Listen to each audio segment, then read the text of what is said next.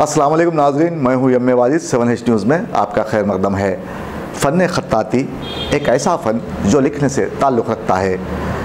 گولکنڈا میں اس کا ایک ادارہ قائم کیا گیا ہے۔ کیا ہے یہ ادارہ؟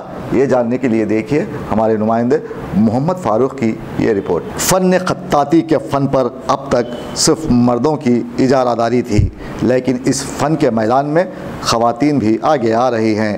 اس فن کو اور آگے بڑھانے کی کوشش کرتے ہوئے مجلس اتحاد المسلمین نے اپنی کاوشوں سے گولکنڈا میں آج اے اے سی ڈی ٹی کے اشتراک سے ایک ادارہ قائم کیا، جہاں پر طلبہ کو فن خطاطی کے ہنر سے آراستہ کیا جائے گا۔ اب طلبہ خطاطی کی اس قدیم روایت سے جڑیں گے جو مسلمانوں کا ورثہ ہے اور جدید اسالیب کو اپنے فن کا حصہ بنا پائیں گے۔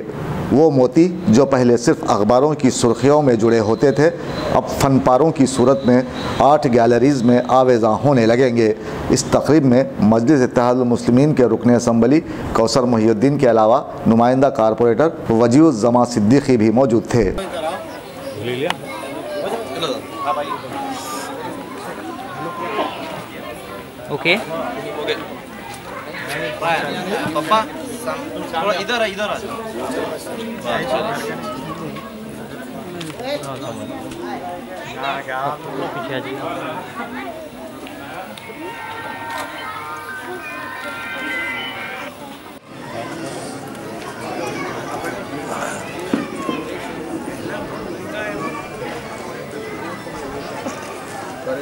Arabic art and culture development trust کی جانب سے یہ ادارہ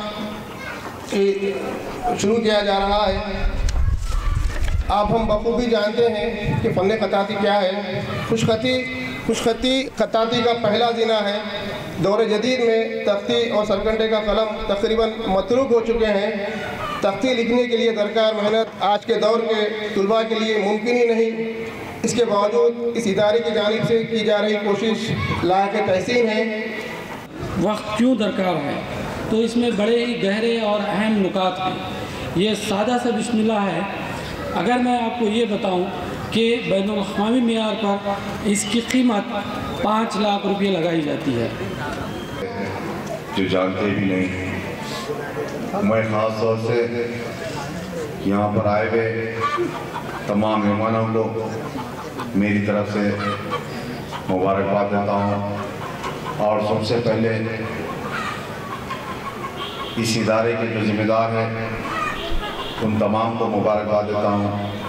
جو آپ نے یہاں حضرت کاروان گول کنڈے کے اندر جو آپ نے ادارہ کھلا اور آج کے پروگرام میں مجلس زمین کے صدر محترم جناب نخیب ملت پیرس اسد علی صاحب آج کے پروگرام میں آنے والے تھے۔ چند وجوہات کی وجہ سے وہ آؤٹ آف اسٹیٹ جا چکے اور مجھ کو بتائے، صدر محترم کی جانب سے بھی میں آپ تمام کو مبارکباد دیتا ہوں۔ اور صدر محترم یہ بھی بتائے، جیسے حیدرآباد میں آنے کے بعد انشاءاللہ اس ادارے کا آ کر میں مینہ کروں گا۔